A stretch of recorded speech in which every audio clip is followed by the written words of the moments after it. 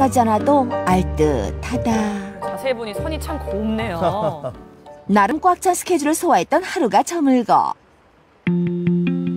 꾀긴 뭘 하고 있나 살짝 엿봤더니 가만히 쉬던 녀석이 갑자기 꼬리를 세차게 흔들다 기지개를 펴는데 그 사이 웬 알이 보인다 신기하네요. 마치 기분이 좋은 양 꼬리를 또 한 번 세차게 흔들더니 사랑스럽게 알을 바라보는 꾀기 이야.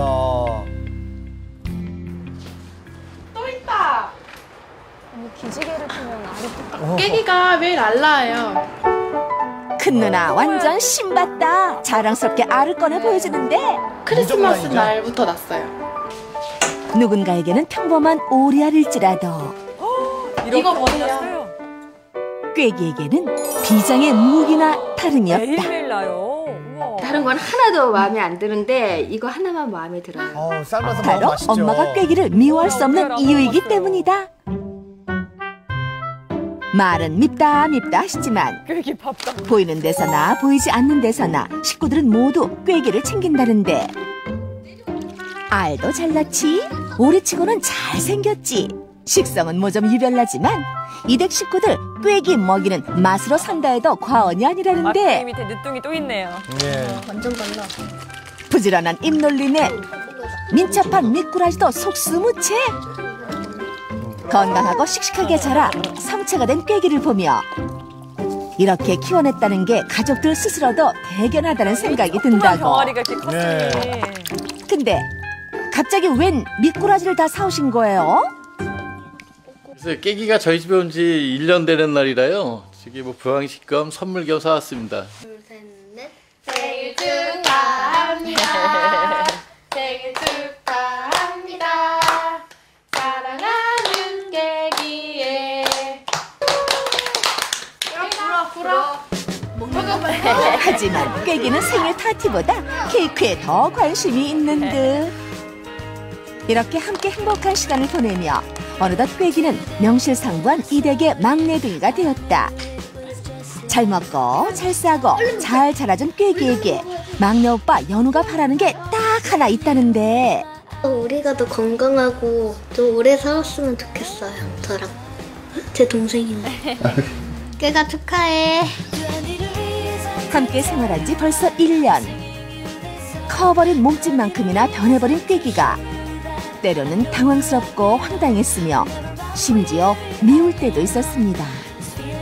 하지만 밉다가 더 좋은 것, 그게 바로 가족 아니겠어요? 그렇게 꾀기는 식구들은 오늘도 행복한 하루를 만들어가고 있습니다. 긴급 신고가 접수된 곳은 충청북도 청주시의 한 병원. 처음 만났을 때부터. 시도 때도 없어요. 잠잘 때 외에는 뭐 다 때리는데요. 그 눈 때릴 때가 제일 힘들어요. 네.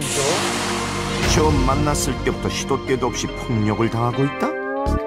그 폭력의 피해자는 아주머니가 아니라 야, 저 살이 엄청 많은 거죠. 바로 눈두덩이 시퍼런 지여유. 눈도 제대로 뜰 수 없는 이 여인 기구한 사연은 뭘까? 병원을 나와 집으로 돌아가는 뒤를 따랐는데 대문 앞에 멈춰선 녀석 저것도 힘들어요? 또 들어와야지. 얼른. 한참 동안의 승강의 끝에 떠밀리듯 겨우 마당까진 발을 들여놓긴 했는데 도토. 무엇이 두려운 건지 계단 앞에서 다시 얼음이 됐다. 어? 어, 싫은가 봐요. 싫어? 집에 들어가길 강력히 거부하는 이유가 뭘까? 사실 이 댁은 한 지붕 세 가족, 세 신혼부부가 한 집에 같이 살고 있다. 신혼부부요. 제일 금술 좋은 애들부터 할게요. 여기, Scottish Fold. Scottish. Fold 고양이 한 쌍. 한 쌍, 한 쌍은 이렇게, 이렇게, 이렇게 안아야 쌍지. 365일 애정 충만. 매일 얼굴 보는 사이면서도 눈빛만 봐도 어머 막. 3년째 영화 같은 사랑에. 빠진 고양이 부부다.